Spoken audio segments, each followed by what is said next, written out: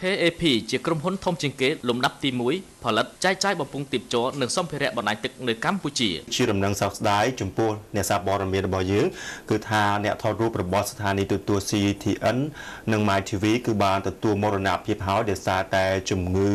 ផ្ដាសាយជ្រូកបាទផ្ដាសាយជ្រូកគេហៅថា H1N1 ហើយលោកគឺបានទទួលមរណភាព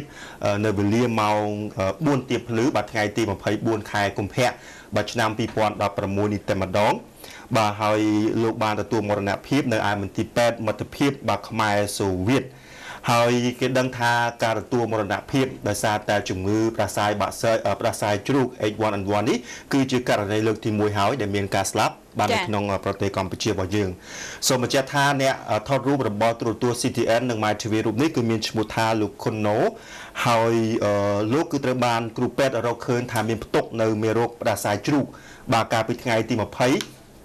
បាទខែកុម្ភៈហើយលោកក៏ត្រូវបានដាក់ឲ្យសម្រាប់ព្យាបាលនៅអាមន្ទីរពេទ្យមិត្តភាពខ្មែររុស្ស៊ីឬយើងហៅថាពេទ្យរុស្ស៊ី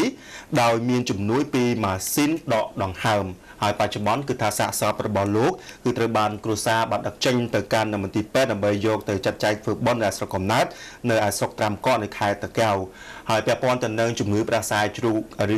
ឬក៏យើងហៅថា H1N1 នេះគឺថាលោកលីសូវ៉ាន់ដែលជាអ្នកនាំពាក្យក្រសួងសុខាភិបាលហើយក៏ជាអនុប្រធាននាយកដ្ឋាន បាទ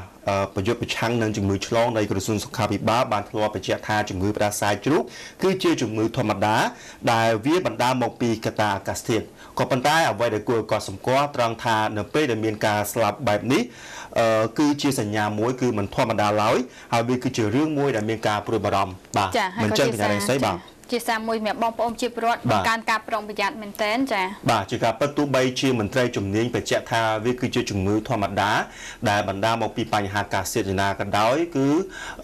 វាជាសញ្ញាមួយដែលការរំលឹកដល់បងប្អូនប្រជាពលរដ្ឋធ្វើយ៉ាងម៉េចឲ្យប្រុងប្រយ័ត្នចំពោះជំងឺផ្ដាសាយជ្រូកឬក៏យើងហៅថា H1N1 ហើយយើងឃើញថា អឺមករយៈកាលចុងក្រោយនេះមិនថាកម្ពុជាជាពិសេសគឺប្រទេសផ្សេងៗនៅលើពិភពលោកមានជំងឺផ្លែផ្លែជាច្រើនដែលយើងមិននឹកស្មានដល់ ហើយទន្ទឹមមនុស្សនាយកដ្ឋានប្រយុទ្ធប្រឆាំងនឹងជំងឺឆ្លងក៏តែងតែការរំលឹកក៏ដូចជាផ្ញើសារតាមរយៈបណ្ដាញសង្គម Facebook ដែលមានទំព័រ Facebook ផ្លូវការរបស់ខ្លួនរួមជាមួយនឹងការផ្សព្វផ្សាយតាមរយៈស្ថានីយទូរទស្សន៍វិទ្យុកាសែតអីផ្សេងផ្សេងឲ្យតែមានការវិវត្តថ្មីនៃជំងឺអីថ្មីថ្មីអញ្ចឹងទេគឺយើងមានតែការចូលរួមចំណែកមរណទុកបាទចំពោះក្រុមគ្រួសារសពគឺលោកខុនណូបាទដែលបានទទួលមរណភាពដោយសារតែជំងឺផ្ដាសាយជ្រូកឬក៏យើងហៅថា H1N1 ហើយបញ្ជាក់ជូនជាថ្មីបច្ចុប្បន្នសាកសពរបស់លោកគឺត្រូវបាន គ្រួសារដឹកយកទៅធ្វើបន់បាននៅឯស្រុកត្រាំកក់នៅខេត្តតាកែវបាទអរគុណ